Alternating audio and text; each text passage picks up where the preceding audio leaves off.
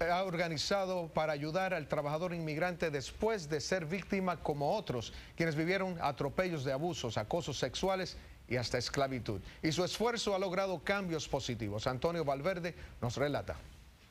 Acoso sexual para las mujeres, el abuso físico, el abuso verbal, eh, que era el pan de todos los días para eh, los trabajadores. De esto fue testigo y víctima Lucas cuando llegó de Guerrero, México a trabajar cosechando tomates en la Florida a los 17 años, pero comenzó a documentar, organizarse, denunciar y obtener resultados. Hemos descubierto eh, cinco casos de esclavitud moderna, eh, donde hay varios patrones, más de una docena de patrones tras las rejas, cumpliendo sentencias de hasta 30 años por tener a gente en esclavitud.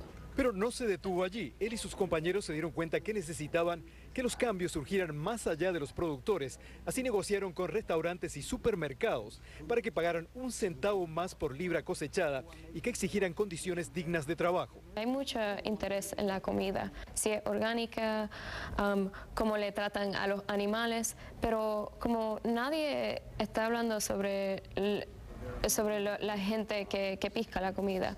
La iniciativa ha sido objeto del documental Cadenas de Comida que hoy se presenta en Los Ángeles. La gente que va a comprar ese tomate diga, este es un tomate de Florida, este es un tomate de los Estados Unidos, donde los trabajadores son tratados con respeto, con dignidad y con un salario justo. Con el apoyo de los consumidores es como vamos a cambiar esto y, y ha cambiado bastante.